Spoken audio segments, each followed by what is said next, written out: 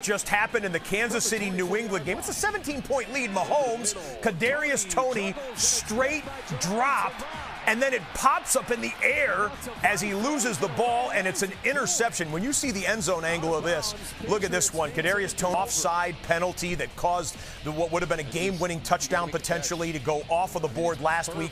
Toney right through his hands and it, and it, didn't even have the decency to go to the ground afterwards. Pops in the air, and it's a turnover to the Patriots, and New England has a little bit of life here. Down 17, but nine minutes left to go in the fourth quarter. We'll see if Bailey Zappe. You know, you, you just, you're going to, he's not going to trust him anymore. He's just, it's coming down to a critical situation, and that's where the ball has to go because he's open. But I don't trust him. I'm losing trust.